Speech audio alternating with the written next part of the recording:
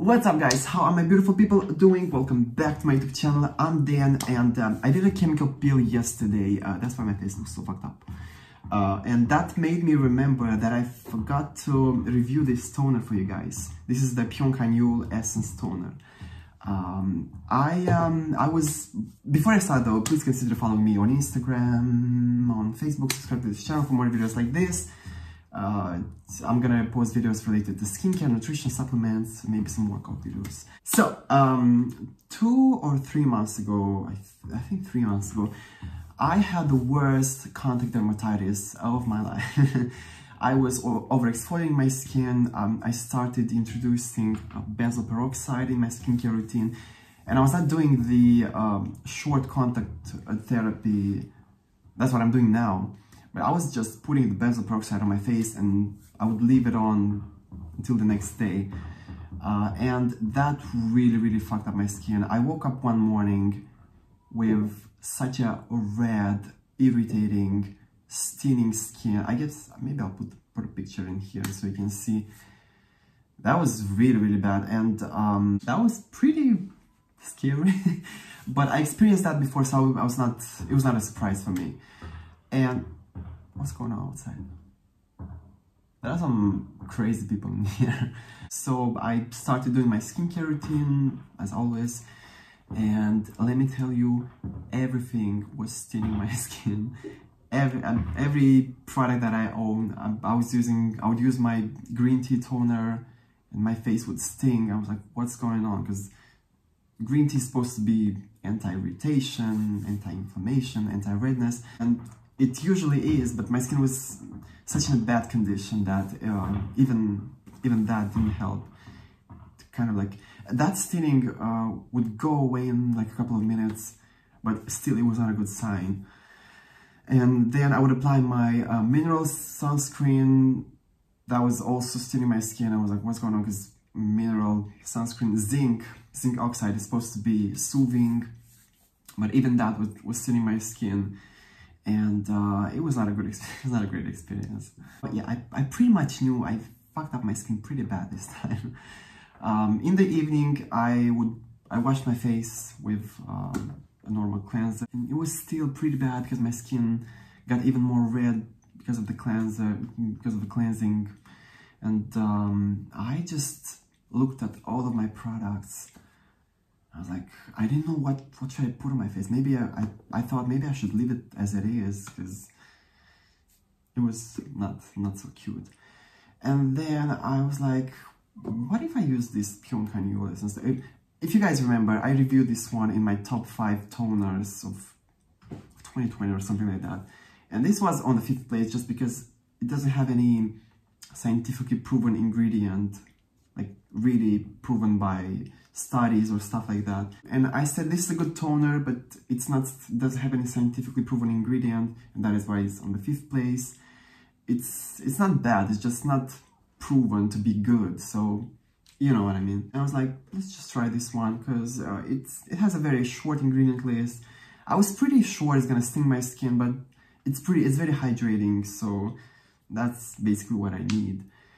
And I put this on my face, and I was blown away. It was not stinging at all. It was actually pretty soothing. I felt this comfort feel, comforting feeling, uh, this soothness, this. Mm, coldness is that a word yeah i was like okay here we go basically this was the only product out of all of my products that did not sting my skin and then i thought to myself maybe it's because during the day my skin healed so now it's not because of the toner it's just my skin is not so irritated so irritated so actually nothing would sting it and then I applied my moisturizer and my skin would start stinging again. So I was like, no, it's actually the toner. This was the only one that helped me with that. Next day, next morning, I layered this like six times on my face. Uh, my I looked like a shiny mess, but it was so comforting and so good for my skin that I, I didn't care. I didn't even apply sunscreen. I just covered my window and um, I did that the next evening. It was actually pretty hydrating and moisturizing at the same time. when you apply six layers this you don't even need moisturizer So that was the experience for this one, and that's why uh, I did a chemical peel yesterday, and I remember I should I should have reviewed this one a long time ago.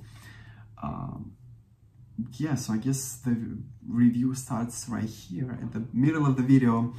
The packaging, it's pretty basic. I like that it's not very transparent. It is pretty dark, so it's gonna protect the antioxidant inside. Um, it's pretty convenient. You don't have to do it like this. You just open it up this way and use the product. It has a very, it is runny, but it's base much more thicker than water texture. Such, such a luxurious feeling when you apply this one. It's really, really, really, really nice texture. It leaves your skin very hydrated actually. It's one of the, one of the most hydrating toners. It's not as hydrating as, as this one, I think, but it's it's pretty much very hydrating.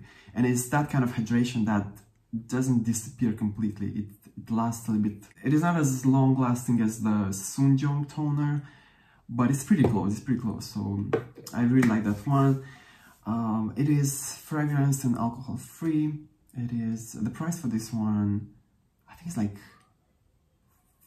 13 or 15 dollars only. It's pretty affordable, I would say actually. Uh, and you get you get how much did you you actually get 200 milliliters which is 6.8 fluid ounces. I can't believe this has 180 and this has 200 i mean how is that possible? What? So yeah apparently you get 200 mils for 15 dollars which is probably the most affordable toners i that i have. I'm not sure. Now i'm gonna talk about the ingredient list and like i said my opinion about this one completely shifted after that contact dermatitis episode. I appreciate this one much more after that and I feel kind of bad that I, I put this one on the fifth place. I give this one a fifth place in my top. okay, we have a very, very short ingredient list actually, probably the shortest, one of the shortest I've ever seen. Uh, we have um, astragalus root extract. This is the star ingredient. I like that it is such a high amount. We don't have any water in this one. First ingredient is this extract.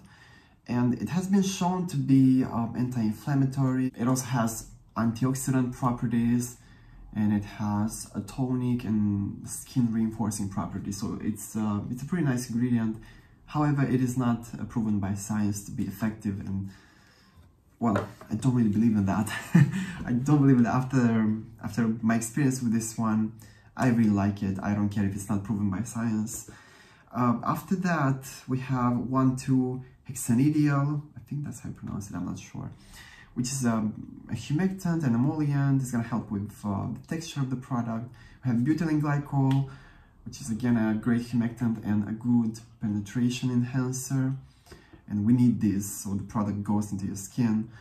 Then we have a silicone. I'm not going to try to pronounce the name, should I? Bispec 80, 18 methyl ether, whatever. It is a silicone. Uh, it's gonna moisturize the skin a little bit. It is a, in a pretty low amount, so it's not gonna form an occlusive barrier or something like that. But still, it's gonna moisturize your skin a little bit.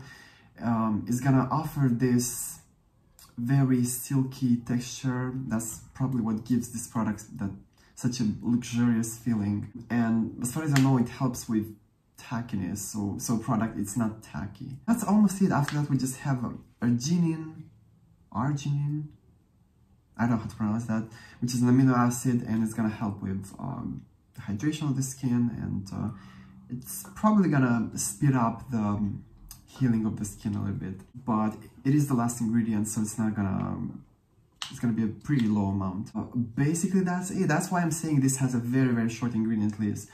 And probably thanks to that, my skin didn't sting because it's very simple, doesn't have any problematic ingredients, and uh, when a product has such, such, a short ingredient list, there's a much less chance for you to develop um, an, a sensitivity to a certain ingredient. So that helps. When you when your skin is irritated, just try to choose very, very short ingredient lists. Uh, no irritants, no alcohol, no fragrance, nothing like that. And of course, no chemical exfoliants. Those are good ingredients, but they're not you should definitely avoid those when your skin is irritated. Any glycolic acid, salicylic acid, even lactic acid, even though it's gentle, don't don't use those. Uh, but yeah, that is it for today, guys. I hope you enjoyed my review of the Pyunkang Yul Essence Toner. I don't know if I'm pronouncing that right. If you enjoyed this review, please give it a thumbs up. Uh, let me know in the comments below what was your experience with this toner. Now, I don't use it as much. I'm just using it sometimes in the evening when I feel like I need more hydration. And of course, if my skin is irritated, I would actually couple these two. And it's great, it's really great. It offers a lot of hydration, soothness, soothness, soothing effect. Let's just put it that way. Uh, but I use this, the SoonJung morning and night. The Pyunkang Yul, I don't use it that often, but still it's one of my favorite toners. And um, yeah, that is it guys. Leave some questions in the comments below. I may address those in future videos or answer to those in the comments below. I love you all and I will see you all in my next video. Bye!